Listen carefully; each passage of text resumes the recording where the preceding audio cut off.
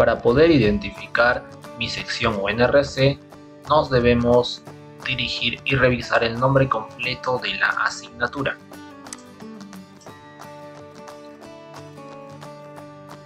Como primera parte tendremos el nombre de la asignatura.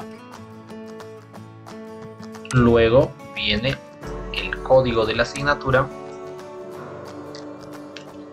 Finalmente encontramos el NRC o sección de mi asignatura. Seguido del bloque de estudios actual. Universidad Continental, el poder del conocimiento.